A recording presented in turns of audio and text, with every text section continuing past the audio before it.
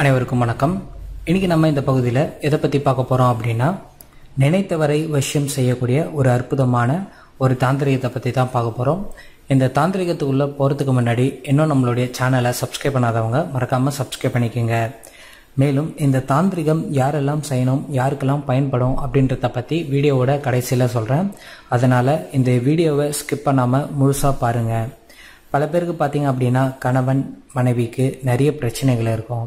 அவங்க ரெண்டு பேருக்குள்ள விடாமல் ஏதாவது ஒரு சண்டைகள் வந்து கொண்டே இருக்கும். இப்படி இருக்கக்கூடியவங்களும் மேலும் நான் காதலிக்கும் பெண் உண்மையாக காதலிக்கும் ஒரு பெண் பார்த்தீங்க அப்படின்னா நான் அவரை திருமணம் செஞ்சுக்கணும் அப்படின்னு நினைக்கிறவங்க பண்ணலாம். அடுத்ததாக பார்த்தீங்க அப்படின்னா நான் இந்த பெண்ணை கண்டிப்பாக திருமணம் செஞ்சாகணும். நான் இவங்கள காதலிக்கிறேன். உண்மையாக காதலிக்கிறேன். இவங்கள தான் நான் திருமணம் செஞ்சுக்கிறேன் அப்படின்னு சொல்லிட்டு நினைக்கிறவங்க தாராளமாக இந்த தாந்திரிகத்தை நீங்கள் பயன்படுத்தலாம். இந்த தாந்திரிகத்தை நீங்கள் பயன்படுத்துறது மூலமாக என்ன நடக்கும் அப்படின்னு பார்த்தீங்கன்னா அவங்களுக்கு உங்களுடைய ஞாபகங்கள் வந்து உங்களுடைய எண்ணங்கள் தோன்றி உங்ககிட்ட பேசணும் அப்படின்ற ஒரு மைண்ட் செட் உருவாகி உங்ககிட்ட பாசம் அதிகரித்து உங்களிடம் வந்து சேர்வார்கள். அதே நேரத்தில் நீங்க நினைத்தவரை உங்களால வசியம் செய்ய முடியும்.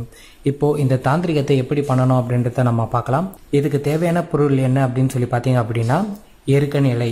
இந்த எருக்கன் செடி பார்த்தீங்க அப்படின்னா சாலையோரத்தில் வளரக்கூடிய ஒரு செடி தான் இது. இந்த செடியோட ஸ்பெஷாலிட்டி என்ன அப்படின்னு சொல்லி பார்த்தீங்க அப்படின்னா சில செடிலாம் பறவை மனிதர்கள் விலங்குகள் அப்படின்னு சொல்லிட்டு ஏதாவது விதைகள் பூமியில் போடுறது மூலமாக அதன் மூலமாக சில செடிகள் வளரும். ஆனால் இந்த எருக்கன் செடி பார்த்தீங்க அப்படின்னா தானாக உருவாகக்கூடிய ஒரு செடி. ஏன்னா அவ்வளவு சக்தி வாய்ந்த செடி இது. காரணம் என்ன அப்படின்னு சொல்லி பார்த்தீங்க அப்படின்னா இந்த செடியில் ஒரு பாட்டு கூட நம்மளுக்கு யூஸ் ஆகாமல் இருக்காது. அதோட வேராக இருக்கட்டும் அதோட பாலாக இருக்கட்டும் மேலும் இலை பூ அப்படின்னு சொல்லிட்டு எதுவாக இருந்தாலுமே சரி நம்மளுடைய மருத்துவத்துக்கும் மேலும் தாந்திரிகத்துக்கும் இது பயன்படும். இப்போ நம்ம நினைத்தவரை விஷயம் செய்யறதுக்கு இது நம்ம எப்படி பயன்படுத்தணும் அப்படின்றத நம்ம பார்க்கலாம். முதல்ல என்ன பண்ணணும் அப்படின்னா இந்த நினைத்தவரை விஷயம் செய்யக்கூடிய வித்தை பார்த்தீங்க அப்படின்னா மூன்று முறைகளை நம்ம பண்ணலாம்.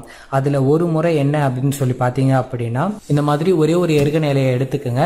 இந்த ஒரு எருகன் இலையில என்ன பண்ணணும் அப்படின்னா இந்த மாதிரி ஒரு ஒரு ரூபாய் நாணயத்தை இப்படி வச்சிருங்க. ஒரு ரூபாய் நாணயத்தை வச்சுட்டு இது நீங்கள் இப்படி மடிச்சுக்கணும். இந்த மாதிரி மடித்து முடிச்சதுக்கு அப்புறமா என்ன பண்ணணும் அப்படின்னா இது நீங்கள் உங்களுடைய கைகளில் வச்சுட்டு அந்த பறிக்கப்பட்ட செடியிலிருந்து முன்பாக நீங்கள் அமர்ந்துட்டு விநாயகரோட மூல மந்திரத்தை உச்சரிச்சுட்டு அப்படி இல்லை அப்படின்னா உங்களுடைய இஷ்ட தெய்வத்தை வேண்டிட்டு நீங்கள் யாரை வசியம் செய்யணும்னு நினைக்கிறீங்களோ அவங்களுடைய பெயர் சொல்லிட்டு இன்னார் எனக்கு வசியம் ஆகணும் அப்படின்னு சொல்லிட்டு வேண்டிட்டு இந்த செடியோட வடக்கு வேர் இருக்குல்ல வடக்கு வேர் பக்கம் நீங்கள் பள்ளம் நோண்டி அந்த வடக்கு வேர் பக்கம் இதை நீங்கள் புதைச்சிட்டு திரும்பி பார்க்காம வரணும். அவங்களுடைய பேரை சொல்லிட்டு திரும்பி பார்க்காம வரணும். இப்படி நீங்கள் பண்ணீங்க அப்படின்னா அவங்க உங்களுக்கு வசியம் ஆவாங்க. அடுத்ததா இன்னொரு முறை என்ன அப்படின்னு சொல்லி பார்த்தீங்க அப்படின்னா இந்த மாதிரி ஒரு பெரிய ஒரு எருக்க இலையாக எடுத்துக்கோங்க. இந்த எருக்க இலையை நீங்கள் என்ன பண்ணணும் அப்படின்னா இந்த மாதிரி ஒரே ஒரு கிராம்பு ஒன்று எடுத்துக்கோங்க. இதை நீங்கள் வீட்டிலேயே பண்ணலாம். இந்த மாதிரி ஒரு கிராம்பு ஒன்று எடுத்துக்கோங்க. இந்த மாதிரி இது திருப்பிக்கிங்க. இந்த இலையை திருப்பிட்டு இந்த இடத்துல உங்களுடைய காதலி அல்லது காதலன் பெயர் மனைவி அல்லது கணவன் பெயர். ஏதாவது எழுதிக்கிங்க. சப்போஸ் உங்களுடைய காதலன் பேர் சும்மா நான் போட்டுக்கிறேன் நான். எக்ஸ் எக்ஸ் எக்ஸ் எக்ஸ் இந்த மாதிரி எழுதிடுங்க. உங்களுடைய பெயர் பார்த்தீங்க அப்படின்னா அது கீழே சும்மா நான் ஒய் ஒய் ஒய்ன்னு போட்டுக்கிறேன். இந்த மாதிரி அவங்களுடைய பேர் உங்களுடைய பேரை இந்த மாதிரி எழுதி முடிச்சதுக்கப்புறமா நீங்கள் என்ன பண்ணணும் அப்படின்னா இந்த மாதிரி இந்த இலையை நீங்கள் திருப்பிடணும். திருப்பி முடிச்சதுக்கப்புறமா நீங்கள் இதில் என்ன பண்ணணும் அப்படின்னா மஞ்சளை தடவணும். மஞ்சளை தடவிட்டு இதில் ஒரே ஒரு குங்குமம் போட்டு நீங்கள் வைக்கணும். இந்த மாதிரி நீங்கள் பண்ணி முடிச்சதுக்கு அப்புறமா என்ன பண்ணணும்னா நீங்கள் எழுதிய அதே கிராம்பை இந்த இடத்துல நடுவில் நீங்கள் வச்சுட்டு இந்த இலையை நீங்கள் இப்படி மடிச்சுட்டு ரெண்டு பக்கமும் நல்லா மடிச்சுட்டு இது நீங்கள் என்ன பண்ணணும் அப்படின்னா உங்கள் வீட்டு பக்கத்தில் இருக்கக்கூடிய விநாயகரோட கோவிலுக்கு சென்று அந்த கோவிலில் விநாயகரோட மூல மந்திரத்தை ஜெபிச்சுட்டு அப்படி இல்லை அப்படின்னா உங்களுடைய இஷ்ட தெய்வத்தை வேண்டிட்டு விநாயகருக்கு பக்கத்தில் இருக்கக்கூடிய அதாவது மரத்துக்கடியில் இருக்கக்கூடிய விநாயகரை தேர்ந்தெடுத்துக்கோங்க. அந்த மாதிரி விநாயகர் போயிட்டு அந்த மரத்தில் நீங்கள் இந்த இலையை கட்டிட்டு வந்துடணும். இந்த மாதிரி பண்ணீங்க அப்படின்னா அவங்க உங்களுக்கு வசியமாவாங்க அடுத்ததாக பார்த்தீங்க அப்படின்னா லாஸ்ட்டு மெத்தட் லாஸ்ட் மெத்தட் என்ன அப்படின்னு சொல்லி பார்த்தீங்க அப்படின்னா இந்த மாதிரி ஒரு எருக்கன் இலையை நீங்கள் எடுத்துக்கோங்க பெருசாக இருக்கட்டும்.